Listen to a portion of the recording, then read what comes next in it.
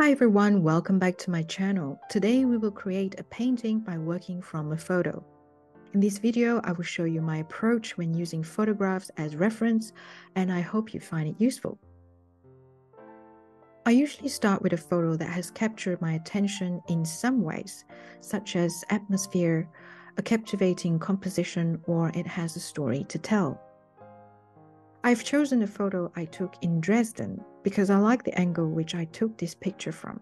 Usually takes me some time to determine which part of the picture I'll include and the elements I'll focus on, move, remove, or simplify.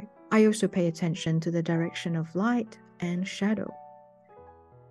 For example, in this photo, I decided to focus on the dome building, but I excluded the rest of the structure because I don't feel that it adds to the painting.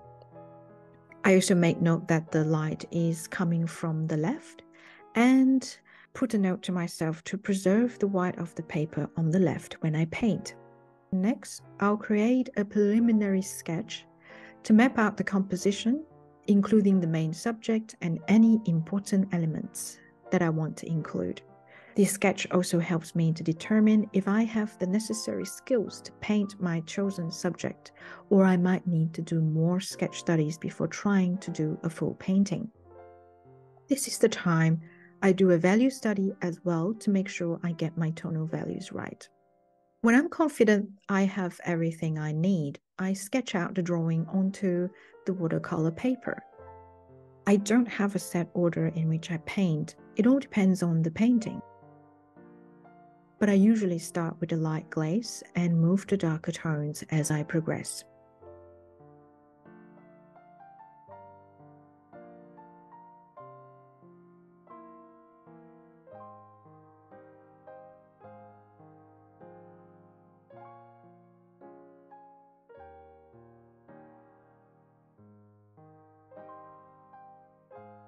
Although I do observe colors in the photograph, I don't necessarily follow the local colors of the reference photo because I want to convey the emotions and the atmosphere I felt at the time when I took this picture. And I don't want to just replicate the image in front of me.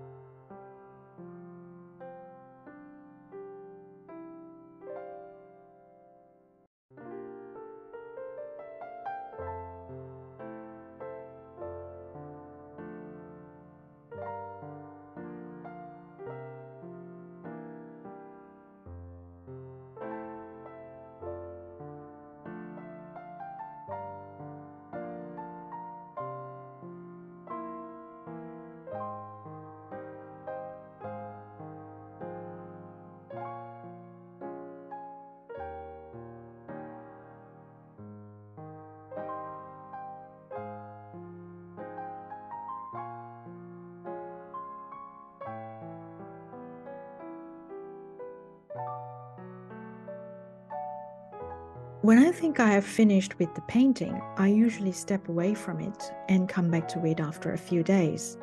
This allows me to spot any mistakes and make necessary adjustments, especially when I haven't got the tonal values right. Apart from that, I try not to do too much so as not to overwork the painting.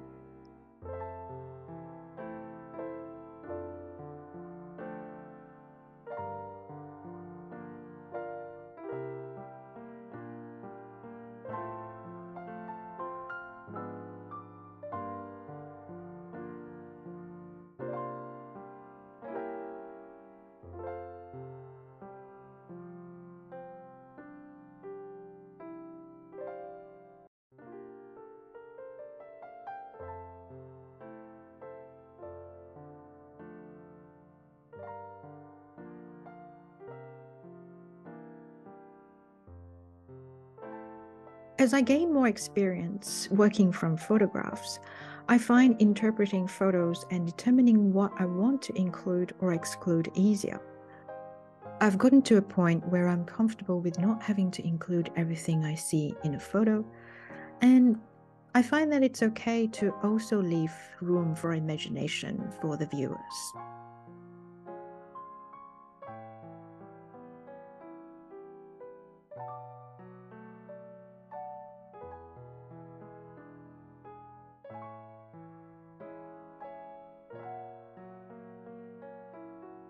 And this is the end result. I hope you find this video helpful. Thank you for joining me today. Don't forget to like, share, and subscribe for more art related content. And as always, feel free to leave your thoughts and questions in the comments below. I'll see you in the next video.